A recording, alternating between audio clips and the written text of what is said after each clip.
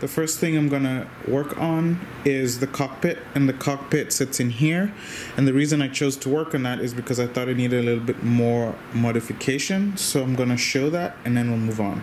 The cockpit comes, it doesn't quite fit, and the main reason for that is that um, we have the servo and this linkage. And so if you get the cockpit and you try to stick it in there, you'll notice that the rear part of the cockpit right here actually wants to sit on top of the servo. So what you have to do is do some cutting. And in my case, what I found was that if I cut at the front, it was a little bit longer, say about that long.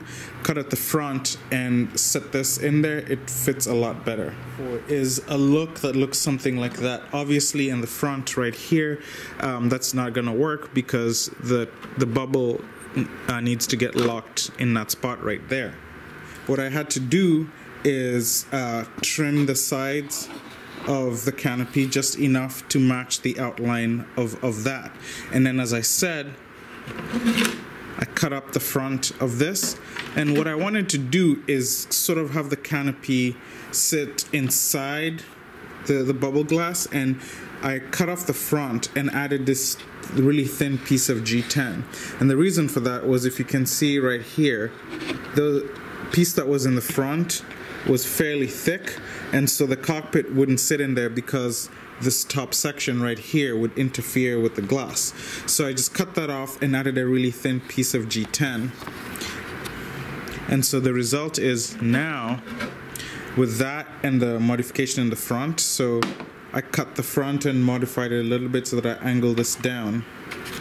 With that modification, what's going to happen is that the tub right here is going to slide in and sit right on the front there. And so you can see what that looks like. Um, and it's pretty much at the top because I, like I said there is that servo that sits right here when the cockpit is installed. So once that's done the next thing was to add a piece of wood underneath the back flap because this back flap right here was a little bit flimsy.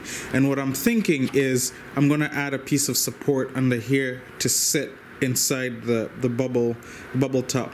And so and screw that down. And so that what happens is the canopy is supported I mean the cockpit supported from the front from the bucket right here and from the bucket right here. And that way it sits in there. And my thoughts are that um, I'm gonna add a support right here. So maybe from about here and then cover this section in the back. And what's gonna happen is when you want to take out the cockpit all you gotta do is sort of slide it back just enough and then you know this drops out just kind of like that. So that's my plan and I'll show you once that's done. And then that way the canopy will sit in there and it'll be removable. The other reason why I like that is because just standard the the rear pilot kind of sits at a weird angle like lower down. So if I was to match the tub with the line of the canopy you see that it looks like this guy is kind of recessed. So what I needed to do is raise it up a little bit give it more of a scale look. And that means that you can see that there's a little bit of a there's a little bit of a lift required in the back. So I'll do that and I'll come back with the results. So here's the cockpit and how I decided to do it is um, I cut a little bit more than I wanted and you can see there's a gap there. But not to worry because once this is in place, you don't get to see it. Um, but anyways, so what I wound up doing is getting a piece of wood and epoxying it to the back here. And then there's three screws that then uh, hold the canopy. So there's a lip, I can show it on the top here.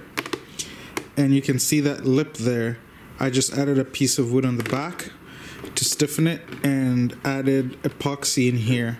And so with that piece of wood and the epoxy was nice and stiff. And then the system that I came up with is because I want the cockpit to be removable, is that you have these screws and you can see there's a gap between this edge right here and this. And what that does is when you want to take off the cockpit, because in the front it's just, uh, if you remember this piece of G10, is just a lip.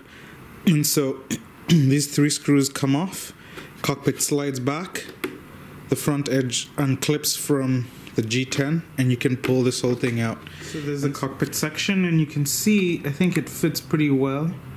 Um, nice. So we're back at the cockpit and as a final step you'll see that um, I had to Dremel out the cockpit so that the uh, servo that controls the steering could actually go through and I'll show you in a minute what I mean. So here's the cockpit and as you can see I have taken a little bit of a chunk out of the bottom and that's just to allow the servo um, the steering servo to actually uh, get enough room to rotate freely. So what I'm going to show now is how the uh, this relief that we've cut allows the gear to actually uh, do its thing. So I'm going to retract the gear and you can see the wire comes up, barely touches, and that bracket with the servo actually clears the cockpit and that's what you want. I couldn't find a different way to actually get that clearance so um, that's uh, what it's gonna have to be. On the way down. Looks pretty good. I will probably encase that wire in in snakeskin um, just to protect it, but that's what we're looking at for the cockpit.